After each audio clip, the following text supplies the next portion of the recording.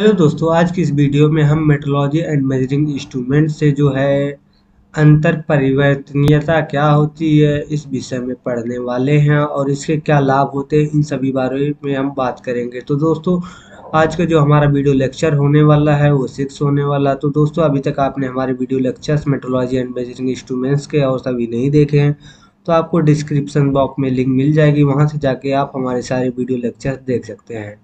और इस वीडियो के डिस्क्रिप्शन बॉक्स में हम अपने टेलीग्राम चैनल के लिंक दे देंगे, जहाँ से आप इस पीडीएफ को आसानी से ले सकते हैं। तो दोस्तों, आपसे रिक्वेस्ट करते हैं, यदि आप हमारे चैनल पर नए हैं तो प्लीज़ हमारे चैनल को सब्सक्राइब करना ना भूलें और बेल आइकन प्रेस करें, जिससे हमारे द्वारा अपलोड की गई वीडियो की नोटिफिकेशन सबसे पहले आपको मिलती रहे। चलिए स्टार्ट करते हैं। आज की जो टॉपिक हमारी इंटरचेंजबिलिटी, क्या होती है इसके बारे में बात करते हैं हम लोग।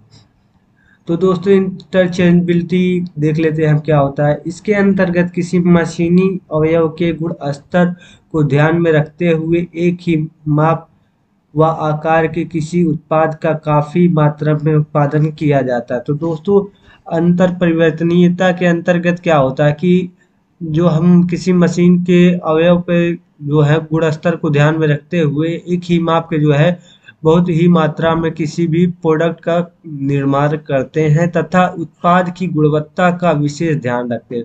तो दोस्तों इसमें क्या होता है कि हम जो प्रोडक्ट बनाने वाले हैं उसको काफ़ी मात्रा में उसके गुणस्तर को ध्यान में रखकर बनाते हैं और उत्पाद की गुणवत्ता जो है उसको ध्यान में रखकर हम बनाते हैं ताकि इनके संयोजन के समय उस उत्पाद के बृहद या समूह उत्पाद के ढेर में से कोई भी एक, एक पीस कोई भी एक पीस या उत्पाद लगाया जा सके या फिट किया जा सके। तो दोस्तों, जो हम उत्पाद बनाने वाले हैं काफ़ी मात्रा में, उसके ढेर में से कोई भी एक पीस हम उठाते हैं और वो जहाँ हमें फिट करना हो, आसानी से लग जाए। इसलिए इसे अंतर परिवर्तन इंटरचेबिलिटी के अंदर बनाते हैं और उसके गुणस्तर को हम ध्यान में रखकर बनाते हैं। इस प्रकार किसी उत्पाद का बृहद मात्रा में समूह उत्पादन करना तभी संभव होगा फिट किया जा सके। इस प्रकार उस उत्पाद की माप व गुणस्तर को ध्यान में रखते हुए उनमें से अंतर परिवर्तनीयता होगी। तो दोस्तों अंतर परिवर्तनीय का जो इंटरचेंजबिलिटी का जो मेन डिफिनीशन है, यहाँ से शुरू हो रहा है। इस प्रकार का अंतर परिवर्तनीयता का अर्थ बृहद या समूह उत्पादन की ऐसी तकनीक से है जिसमें किसी उत्पाद या अवयव को इस प्रकार बनाया जा बनाया जाता है कि उसके माप व आकार में कोई भी अंतर ना हो। तो दोस्तों, जो भी हम अंतर परिवर्तनीयता के अंतर किसी भी उत्पाद का जब बड़े पैमाने पे उत्पादन करते हैं तो ऐसी तकनीक का ध्यान में रखकर उत्पादन करते हैं कि जब हम किसी भी प्रोडक्ट को बनाते हैं, उसका आकार और माप को ध्यान में रखकर बनाते हैं कि उसमें कोई अंतर ना हो, निश्चित सीमा तक तथा ज़रूरत पड़ने पर उस उत्पाद को बिना कोई बदलाव किए आसानी से उन्हें टूटे, फूटे या पुराने अवयव के स्थान पर तुरंत रखा जाए। तो दोस्तों, इसका सबसे बड़ा बात यह है कि इसको जो है अंतर इंटरचेंजेबिलिटी के अंतर्गत क्या करते हैं? हम उस उत्पाद को बनाते हैं जिसका माप और सीमा काफ़ी निश्चित रहती है और उसको हम किसी भी टूटे, फूटे स्थान पर तुरंत रख दें और बदला जा सके। वह संयोजन में किसी प्रकार की कठिनाई ना आने पाए, जिसके जिससे किसी प्रकार की औद्योगिक अड़चन ना आए। तो दोस्तों इंटरचेंजबिलिटी के अंतर्गत यही होता है। अब बात कर लेते हैं जो हमारा अंतर परिवर्तनीयता का लाभ क्या क्या है, उसके बारे में देख लेते हैं।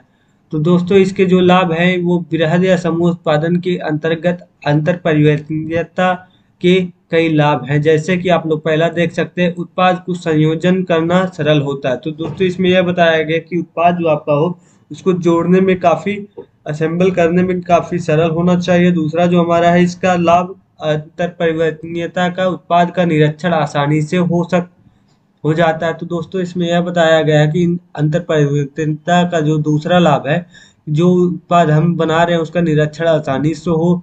और तीसरा जो इसका लाभ है, उत्पाद में किसी, उत्पाद में काफ़ी समय कम लगे, यानी उत्पाद में जो समय लगने वाला हो, काफ़ी कम समय लगता है। ये अंतर परिवर्तनता का जो है लाभ है। बात करते हैं चौथा जो इसके लाभ है, उत्पाद का संयोजन आसानी से हो सक, जाता है। पांचवा जो इसका लाभ है, संयोजन करते समय उत्पाद के चुनाव की आवश्यकता नहीं पड़ती। तो दोस्तों, इंटरचेंजबिलिटी के अंतर्गत क्या होता है, जब भी हम किसी प्रोडक्ट को जोड़ते हैं तो उस समय क्या होता है, उत्पाद को चुनाव करना आवश्यक नहीं होता। किसी भी लॉट में लॉट में से किसी भी प्रोडक्ट को उठाते हैं और उसके स्थान पे जहाँ में रखना जोड़ना रहता है, वहाँ रख देते हैं। वो आसानी से फिट हो जाता है। यही क्या होता है? इंटरचेंजबिलिटी के लाभ होते हैं। और जो छठवां हमारा है, एक ही आकार व माप के उत्पाद बाज़ार में आसानी से उपलब्ध हो जाते हैं। तो इंटरचेंजबिलिटी के अंतर्गत जो भी हम प्रोडक्ट बनाते हैं, उसके आकार व माप जो है, उत्पाद में उत्पाद जो है हमारा बाज़ार में आसानी से मिल जाता है। सातवां जो हमारा है, उत्पाद का निरीक्षण लगभग लगभग कंपनियों द्वारा किया जाता, किया जा सकता है। तो दोस्तों अलग अलग कंपनियों द्वारा जो है उत्पाद का निर्माण किया जाता है। अब आठवां नंबर देख लेते हैं हम। एक ही उत्पाद देश या विदेश में कहीं पर भी उपलब्ध हो जाता है। तो दोस्तों, एक ही उत्पाद आप लोग जानते भी हैं, किसी भी प्रोडक्ट को हम या अपने देश में या मान लीजिए आप रेडमी नोट नाइन का फ़ोन खरीदने जा रहे हैं तो आप आप तो यहाँ इंडिया में खरीद सकते हैं या जाके आप विदेश में भी उस फ़ोन को आसानी से खरीद सकते हैं। और जो नौवा इसके लाभ है इंटरचेंजेबिलिटी के, वो किसी उत्पाद के उत्पादन में मितव्ययता आती है तथा उच्च गुण स्तर के अच्छे टिकाऊ एवं विश्वसनीय उत्पाद तैयार होते हैं। दसवां जो इसके लाभ है, किसी मशीन या उत्पाद के अंतर परिवर्तनता पार्ट का वृहद या समूह उत्पाद संभव है। जो इसका ग्यारह है, लाभ अंतर परिवर्तनता से समय एवं पैसे की काफ़ी बचत होती है, जो कि किसी देश की अर्थव्यवस्था को सुदृढ़ बनाए रखती है। तो दोस्तों, ये सबसे मोस्ट मोस्ट इम्पोर्टेंट जो है, आपका लाभ है, जो 11 नंबर का है कि अंतर परिवर्तनता से यह लाभ है कि इसमें समय एवं पैसे की दोनों की ही बचत होती है, जो कि किसी भी देश की अर्थव्यवस्था को बनाए रखने का सबसे बहुत बड़ा पॉइंट होता है इसके लिए। अब बात कर लेते हैं जो हमारे नेक्स्ट क्वेश्चन है। नेक्स्ट टॉपिक है महत्वपूर्ण परिभाषाएँ जो है। अल्पतमांग क्या होता है, इसके बारे में हम लोग देख लेते हैं। तो सबसे पहले इसकी डिफिनेशन पढ़ लेते हैं हम लोग कि लिस्ट काउंट क्या होता है। किसी भी मापन यंत्र द्वारा मापी जा सकने वाली सूक्ष्मता माप उस यंत्र की अल्पतमांग कहलाती है। तो दोस्तों, इसमें यह बताया गया है कि अल्पतमांग क्या होता है। किसी भी यंत्र द्वारा जब हम किसी मापी जा सकने वाली वस्तु का जो सूक्ष्मतम यानी सबसे निकटतम मान होता है, उस यंत्र की अल्पतमांग कहलाती है। दूसरे शब्दों में, किसी भी उत्पाद, किसी भी मापन यंत्र के माप मापन स्केल पर अंकित स्केल एक विभाजन के बराबर माप के मा, माप के मान को उस यंत्र का अल्पत मांग कहते हैं। तो दोस्तों इसमें यही बताया गया है कि किसी मापन यंत्र के मापन स्केल पर अंकित एक स्केल विभाजन जो बनाया जाता है उसके बराबर माप के मान को उस यंत्र का अल्पत मांग कहते हैं। तो दोस्तों आप लोग देखे होंगे स्केल कुछ इस प्रकार होती है उस पर अल्पत मांग लिखा होता है। एक एम एम दो एम एम यानी एक सेंटीमीटर दो सेंटीमीटर लिखा रहता है। जब हम किसी वस्तु को मापते हैं तो उसके दो सेंटीमीटर का जो माप होता है, उसी को हम अल्पतमांक कहते हैं। अब बात कर लेते हैं कि प्रास का क्या होता है उसके बारे में। तो दोस्तों रेंज क्या होता है इसके बारे में हम बात कर लेते हैं। तो सबसे पहले डिफिनीशन देख लेते हैं हम। किसी मापन यंत्र के प्राश का अर्थ है कि उस यंत्र द्वारा न्यूनतम से लेकर अधिकतम माप तक मापी जा सकने वाली माप को ही व्यक्त करना, जैसे माइक्रोमीटर की प्रास रेंज जो होती है हमारा ज़ीरो से पच्चीस मिलीमीटर होती है और पच्चीस से पचास मिलीमीटर, पचास से पचहत्तर मिलीमीटर तक और पचहत्तर से सौ मिलीमीटर तक होती है। तो दोस्तों रेंज का सीधा सा मतलब क्या है? हम स्केल, छोटी स्केल से कितनी माप माप सकते हैं? कम से कम उसको हम एक एम एम से लेके जो सॉरी एक सेंटीमीटर से लेके हम पंद्रह सेंटीमीटर तक कम से कम एक सेंटीमीटर और ज़्यादा से ज़्यादा पंद्रह सेंटीमीटर तक माप सकते उससे ज़्यादा हम माप नहीं सकते। क्योंकि उस दोनों के बीच की जो डिफरेंस होगी यानी रेंज हो गई, वो हमारी होगी एक सेंटीमीटर से लेके कितना हो जाएगी हमारी? वो हो जाती है पंद्रह सेंटीमीटर उसी को हम क्या कहते हैं? प्रास कहते हैं। अब बात कर लेते हैं हमारा जो है नेक्स्ट सूक्ष्मता सूक्ष्मता क्या, यानी प्रिसीजन क्या होता है उसके बारे में। किसी मापन यंत्र द्वारा किसी माप को एक ही प्रकार से कई बार मापा जाए और माप हर बार एक समान हो तो इस प्रकार ली गई मापों को समानता उसकी सूक्ष्मता कहलाती है। तो दोस्तों, सूक्ष्मता यानी प्रिसीजन का अर्थ यह होता है कि जब हम किसी भी, मान लिया जाए, आप एक स्केल के द्वारा किसी भी एरिया को मापते हैं और उस बार बार उसी कई बार मापते हैं और उसका जो लिस्ट काउंट यानी उसका जो डिस्टेंस आती है वो 10 एम mm बार बार ही आ रही है।